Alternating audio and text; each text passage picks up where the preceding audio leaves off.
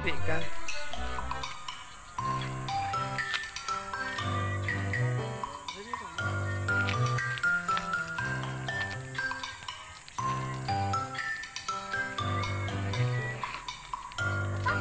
Malsum ya, malsum.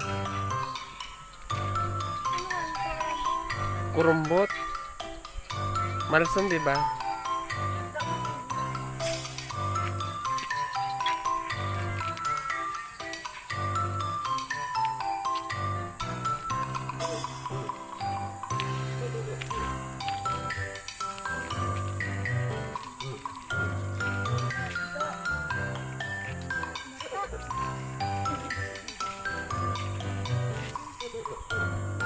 Balsam.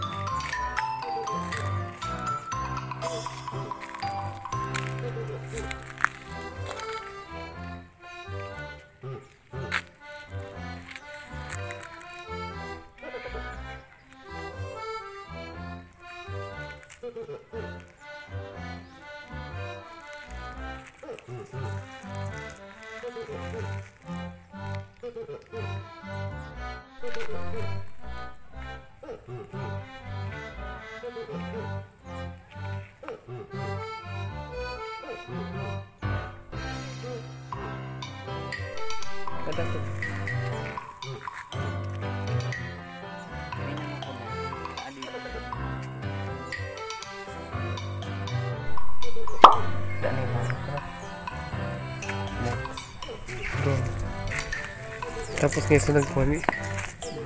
Ay lang gayon mi kam di mi yung. Ako ba? Ako man nga ni. Sexy. Yummy. Mmm. Luloy.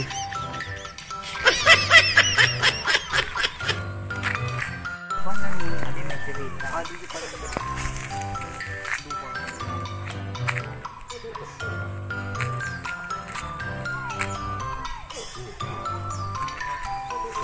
Kita lang. Ayan, oh, see? Boom.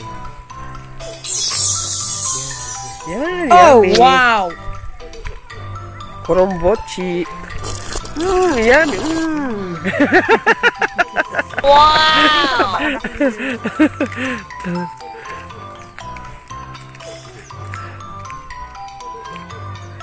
Kagayon kang view. May palumarya ang garing nakaharang niya sa bot niya.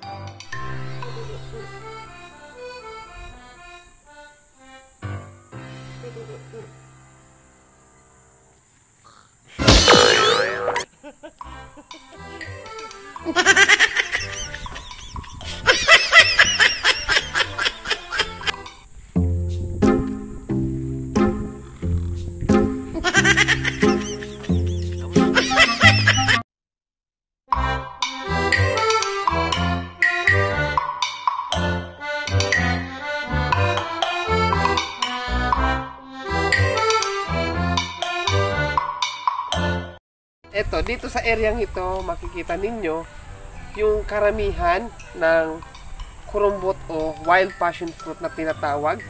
At kaya nandito ako ngayon para balikan ko lang yung mga dati ko nang nakasanayan nung bata pa kami. Mahilig kami maglaro at isa yun sa mga hindi ko malilimutan yung pangunguha ng kurumbot o wild passion fruit na tinatawag. At masarap siya ah. At pag hilaw pa, maasim siya. At pag hinog na, matamis siya. Try nyo rin kasi malay nyo, dyan sa inyo mayroon yan. Pero kapag kayo ay pumunta sa bukid o kung saan man lugar, kailangan nyo pa rin mag-ingat kasi ah, di ba alam nyo na maraming wild dito, maraming ahas. Kung saan kayo pumunta, baka matuklaw kayo ng ahas. Kaya kailangan pa rin nating mag-ingat. Yun ang lagi nating tatandaan at huwag nating kakalimutan. At syempre, habang ikaw nang lilimang-libang, di ba, manguha ka ng wild passion fruit dyan, ah, pag-iingat pa rin ang ating isa-isip. Yun ang pinakamahalaga. At try nyo ah, kung ano yung lasa ng wild passion fruit na ito na tinatawag. Dito sa Albay kasi, kurumbot ang tawag. Yan. Masarap siya. Try nyo.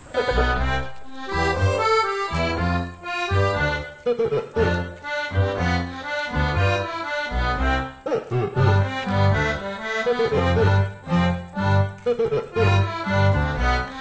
you.